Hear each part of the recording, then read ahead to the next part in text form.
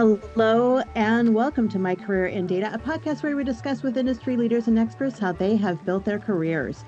I'm your host, Shannon Kemp, and today we're talking to Mayank Madan from Lemongrass.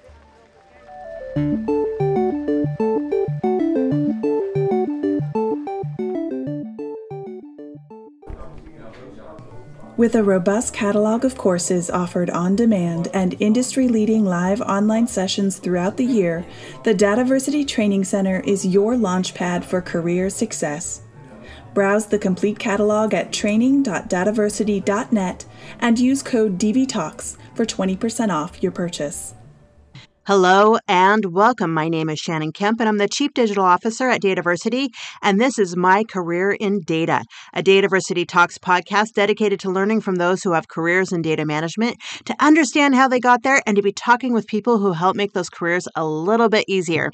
To keep up to date in the latest in data management education, go to dataversity.net forward slash subscribe. Today, we are joined by Mayank Madan, the head of data and analytics at Lemongrass. And normally, this is where a podcast host would read a short bio of the guest, but in this podcast, your bio is what we're here to talk about. Mayank, hello and welcome. Uh, hello, Shannon. How are you? Good. How are you doing today? I'm I'm doing great. Thank you. Awesome. So tell me, okay, so you're the head of data and analytics at Lemongrass. So tell me, what is what is the business of lemongrass? What is what does lemongrass do? So lemongrass is a software-enabled service provider, mainly focused on uh, four key services. Uh, to start with, uh, we migrate uh, SAP from on-prem to cloud. Uh, second is uh, security operations, SecOps. third is FinOps, finance operations, and fourth is data analytics. Now, if I say our core business is uh, basically migrating uh, SAP from uh, on-prem onto cloud, uh, we started by doing it on AWS. We are one of the uh, premier partners and first uh, in the cloud, you know, who actually did migration onto onto cloud for SAPs. And since then, now we have built partnership with all all cloud providers. Oh, that's exciting. So those are major undertakings, yeah? Yeah, yeah, yeah. And mm-hmm. as you know, you know, SAP is kind of a business critical application, enterprise application for major enterprises. So mm-hmm. this is uh, the way to modernize and you know get into the modern uh, enterprise. So one of the key element which all of the our customers uh, are looking for is how to basically get onto the cloud. How do we migrate these business critical application on cloud? Oh, that's very exciting. So, as the head of data analytics, what do you do for Lemongrass? What's your typical work week look like? So, um, as a head of data analytics, my focus is specifically how to generate value from data. So, understanding uh, data challenges customers are having uh, with respect to how do they use uh, data from business, which is SAP data, along with uh, and combining with external data sources which may not be uh, business yeah for example uh, weather data or trending data. So you can say that what's the current trend in uk right? And how do we combine that to for example understand buying patterns uh, in a particular region? So my my focus is you know to work with uh, customers understand what challenges they have in terms of integrating these data sources together what kind of reference architecture they build onto cloud in a cloud native manner uh, and then uh, how do they analyze this data together? What are the kind of use cases they have? So these are a few things what uh, what i do as part of my role and my week uh, mostly is basically interacting with uh, different customers majorly cios ctos um, head of sap head of data analytics to understand uh, the kind of problems they have the kind of use cases they are working on going through that and working through also technical a little bit on you know what what does the enterprise architecture look like? What their strategy and roadmap is for data. Very nice. So you work a lot with data yourself Oh yes, yeah, quite a lot. Yeah, for long. Well, we'll get into that a little bit more, but uh, for right now, so let me ask you: Is this what you wanted to be when you grew up? Is this the dream, like when you were six? you know, to say, "I want to be the head of data and analytics."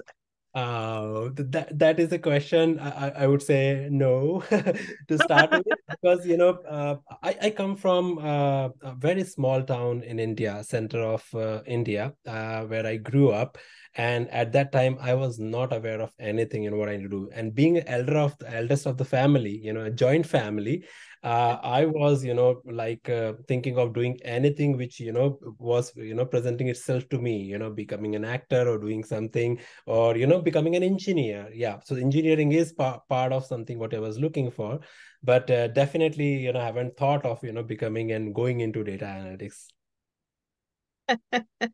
so well then tell me so as you started growing up and and developing your passions you know what started leading you? Where did you go um, as you got older and started choosing your schooling and things like that that's, that's again a good question. It's a journey, actually. Uh, you know, so uh, my town, you know, I didn't have uh, any uh, studies uh, after GCSE or what we say is after 10th. So I had to move out of my town, go to a city to, you know, study more. Um, and uh, there, you know, because you, as you move to city, you meet new people, you you basically interact and, and get to know, okay, there are options available.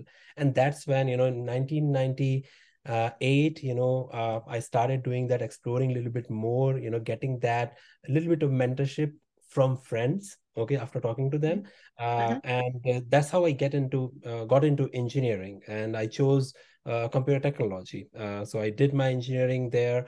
Uh, I was campus selected. I joined a company service provider, uh, very well known Tech Mahindra, uh, and that was the kind of foundation. You know, when I started interacting and actually working in computers and data. So um, starting with database developer. Oh, very nice. So you got into data just right away. So, yeah. so tell me more about that job and where you progressed from there. Yeah. So um, uh, when when I joined uh, uh, Tech Mahindra, there was no cloud. Okay, at that time, mm-hmm. uh, it was 2003, 2002. I am talking about.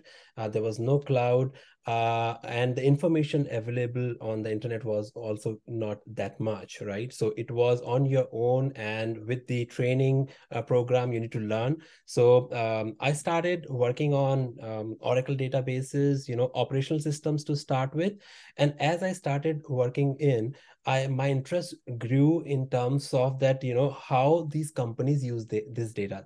Operational element is one thing okay to get things done or uh, as a service for example. But how do they collect this data? How do they store this data? And uh, how do they analyze history? So i was working for uh, uh, british telecom uh, as a client and uh, they have this 21st century network program you know rollout of fiber and everything going on at that time and uh, i got a chance to work on uh, that how do we basically do forecasting for these network equipments capacity okay uh, so i kind of led that uh, team uh, of uh, data and bi to start with business intelligence and that was my journey to start on actually data analytics but that was purely uh, structured data, what we call in today's world, you know, in relational database term. Yeah. Um, from from there uh, as i grew um, i moved on to okay get uh, more exposure into consulting so i joined capgemini uh, where mm-hmm. i was a consultant working for retail and government uh, clients uh, where uh, i got a chance to you know focus more on industry right so going through a retail uh, data model going through that you know how uh, the store operates and, and uh, analyzing data at scale but again you know uh, at that time the challenge was that how do we analyze data at scale? Because again people were not moving to cloud at that time. All the systems were on prem right?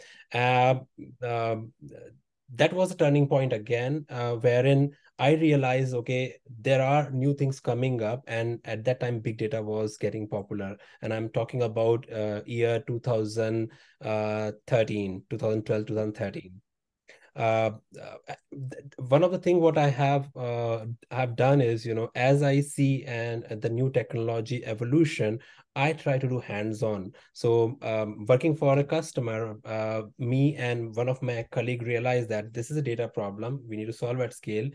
Uh, we can't solve on databases. So why don't we do some pilot and POC on Hadoop platform, which is, you know, let's do a big data platform and demonstrate to customer. And that's where, you know, I started learning and, you know, doing things on big data, you know, combining mm-hmm. other data sets together, and unstructured data together. Uh, and then I joined uh, a company called Hortonworks, which is which was a pioneer and uh, of Hadoop uh, as an architect, and uh, later grew in Hortonworks to become professional services director, working with uh, customers across Europe, Middle East, and Africa, focusing on delivering big data platforms and realizing the value from unstructured data. Mm-hmm. So uh, so I, I think it, it's a long journey. Uh, uh, uh after that, uh, continued in big data, joined Virtustream for as a cloud provider, and later on worked for an AI company as well. Where how do we leverage um, videos and images and analyze videos and images? So it's unstructured data. So it's a 15 journey in short uh, 15 years of uh, journey in in yeah. short you know how i grew and got an opportunity but i have kind of experimented evolved from there learned from there and then went on. Oh i love that. And and is that when you um moved to uh, lemongrass after yes. that? Yeah. Yes so lemongrass is an interesting opportunity, frankly. You know, uh, uh, why why so? Uh, because uh, as I said, you know, one of the key systems customers have is ERP, business critical systems and not all of you know i think more than 50% systems are still on prem they're not on cloud.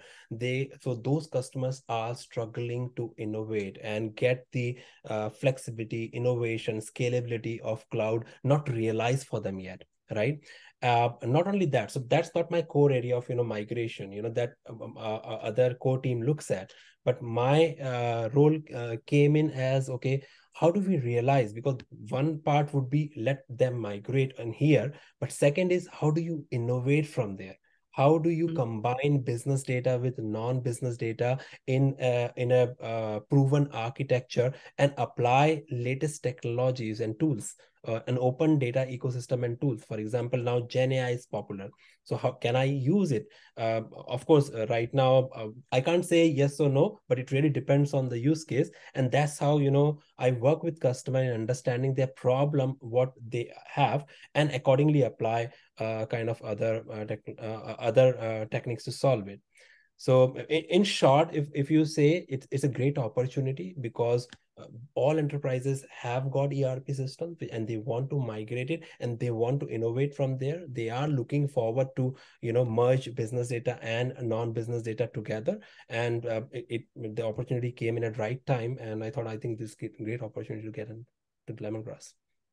That's exciting. And, and Mayank, it sounds like you've been chasing a lot of the new uh, techs. You mentioned innovation um, as a word in there many times, um, and you know you became a data architect. And how, as you were expanding and going through your career, you know how did you learn these skills? And you know um, how did you gain these skills? Was it just through experience? And and you know where did you get the training and, and to to continue to pursue these uh, advanced technologies? Right. So um, um, I, w- I would divide it into two three points right? So uh, 1st mm-hmm. is to always always uh, be uh, up, up to date on the trends which are coming in it doesn't necessarily mean that you have to do it right? Because sometimes it could be a hype but you need to experiment it right? And you can do experimentation with current technologies and tools in the market. You can experiment it very quickly. You can fail fast. So that is something what i do is you know uh, and whatever foundation uh, i have built uh, in my career you know starting with basics right? Uh, learning sqls right? Playing with data uh, playing with uh, structured data. That really helps. So if combining that you know foundational data element with uh, awareness in the market what is coming in and you know actually doing a little bit of hands on right? So at my role i try you know if i could do a little bit of hands on as well right? Because unless until you do a little bit of hands on you don't get that confidence even though you know you have that experience working on different kind of architecture but if it is there's a new technology even if you do few things i think you you know that you know it works and then you can confidently talk to your customers. That is something what what i look for uh, to do. And third is uh, um, um, having people around you know which are uh, experts. So training is something you can now get it online right? So you go on youtube you go on coursera. There are so many you know uh, um, kind of uh, uh, training portals available. You can go and uh, um, get your, yourself trained. So um, that is that is i think two three points i would say people should be doing more and more companies are considering investing in data literacy education, but still have questions about its value, purpose, and how to get the ball rolling. Introducing the newest monthly webinar series from Dataversity, Elevating Enterprise Data Literacy, where we discuss the landscape of data literacy and answer your burning questions. Learn more about this new series and register for free at dataversity.net. So that's fantastic. And so um, and so what has been your biggest lesson so far in your career right uh biggest lessons uh, so far uh, i would say uh, would be uh, people you know mm. keeping uh, people and keeping mentors around right yeah. that is, mm-hmm. that is one of the key thing right as you grow into different roles okay it is important that you know you may learn uh, the technology you may learn to do the things but what we are we just interact with people. Even if we talk to uh, uh, our customers it they are just people. So how do we communicate things? How do we articulate things? I look forward to my bosses when they speak when they talk. I look forward to my old mentors my friends. You know i always go to them. And it's not only uh, the business problems you go to. Sometimes we are human being right? You may have some problem going on and you need somebody to talk to. So my biggest lesson which i realized later uh, on you know after after 10 years of my career is to be open and go and uh, talk to uh, the you, you need to have a coach you need to have a mentor in your life uh, which can provide you you know guidance at uh, right time uh, and and that would be really really helpful uh, to grow your career okay that is such a good lesson and one I can totally relate to. you know, trying to do it so hard for so long by myself, it's just not possible. You need the community. Yeah. Yeah. Exactly exactly. Uh, i love it. So you know um having worked with data since really since the onset of your career what is your definition of data so data to me is any information, right? May it be a personal information, business information, where which you can uh, securely store. Now I'm I'm calling this jargon securely stored because in current world where we are geographically distributed, there are different compliances, different regulations, right? Even for the personal data, right? Securely store and analyze. Analyze in the sense, you know, combine with each other, or probably, you know, as it is, you can retrieve and access that data okay so that is that is a data basic definition to me. And now that data could be um, uh, numbers or facts uh, could be some information about customer could be anything. You know I, will give you I, I normally give classic examples like uh, my gardener he is still old school. When he comes in he has a small diary he comes with and he notes down the schedule right? Okay i'm going here next. Okay so i ask for next appointment. He notes down okay i'll come on this day. He still maintains that. And whenever he needs to call a customer he opens it he finds out the number and call it right? And it's in his pocket it's with him right so this is a basic example but you know moving that to now cloud terms and all you can correlate that you know you need to have that and how do you govern it you know so all these you know uh, uh, uh, principles uh, come into picture Oh, I love that. that comparison is it's very very good. Uh, it's still data, right? Even handwritten, it's still data. yeah. and so you know and having worked again with data for for quite a while and and leading a company now in data and analytics you know do you see the importance of data management and the number of jobs working with data increasing or decreasing over the next 10 years and why? Ah that's that's that's a great question. That's a great question. Uh, I would say definitely increasing. Now mm-hmm. there are various factors to it, right? And uh, we are in a so fast-paced world now that every day there is a new company coming up on how do how can they leverage data? How can they uh, uh, you know kind of analyze data? How can they apply gen ai and all why why all these things happening? Why are companies so or new companies are coming up you know? It's because of explosion of data. Explosion of data is not only you know uh, that you know now business data is moving to cloud. It is all about 5g uh, is being rolled out. Now people are thinking about 6g uh, advancement in uh, gpus you know like companies like nvidia is focused on uh, quantum computing is coming in right? So all this advancement is making it possible what was not possible before. Now when there is a possibility to do things better it requires a lot and lot of data to be combined and analyzed. And that's why you know gen ai which are which is you know created or the models the foundational models or llms are created uh, based on billions of parameters and days and months of computing you know or model training it, it, it is now possible but it requires a lot of lot of data. And now uh, i see uh, because of uh, the Gen AI, we'll see how it basically applies to different industries. Uh, but uh, I'll see that more jobs uh, will come in sectors like data engineering, data analytics, machine learning, and the new one would be now, you know, what we are calling it as a prompt engineering, or how do we leverage generative AI in, in the industries and businesses. I was, you know, I, I was looking at the news um, day before, and Apple has now, uh, you know, uh, committed to invest one billion dollar in Gen AI. And my view is, you know, if companies like Apple is investing, that means it's going to impact your daily lives as well so so it is it is not only business we are talking about now it is going to impact uh, your daily lives as well. So i definitely see that you know um, uh, that there will be a lot of lot of more jobs but alongside there will be a lot of automation there will be a lot of uh, you know robotics which will come into picture.